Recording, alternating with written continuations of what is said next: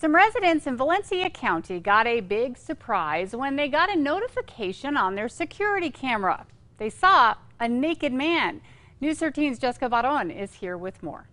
I spoke to neighbors living in Las Maravillas neighborhood who watched as the naked man ran through their neighborhood in broad daylight. They say he even tried to get inside one of their homes. She says, hey, did you know they were trying to get into my house? I said, what? And she said, that there was a nude man trying to get into her house. This what another neighbor saw when he clicked on his ring camera after it alerted him to movement. You can see the man run right through his front yard.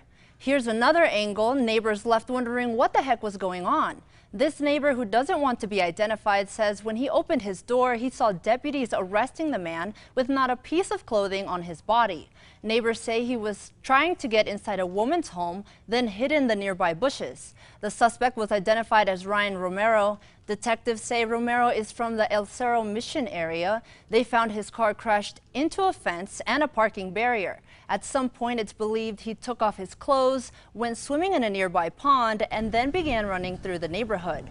The Valencia County Sheriff's Office say they received multiple calls before arriving on the scene. One of the deputies observed a completely nude male walking in the park along the fence line of some of those properties. Uh, when they attempted contact with him, he jumped over a fence, went through a property, and then was contacted again by deputies. Detectives say when they apprehended Romero, he had stolen a package from a neighbor. Turns out he had grabbed it from a neighbor's doorstep. Detectives believed he was high at the time. In a statement from the Valencia County Sheriff's Office, detectives say they also thought Romero was, after Romero was apprehended, quote, no search on his person was necessary. Back to you. Okay, thanks, Jessica. Now, Romero was taken to the hospital to sober up. He's since been charged with indecent exposure and larceny.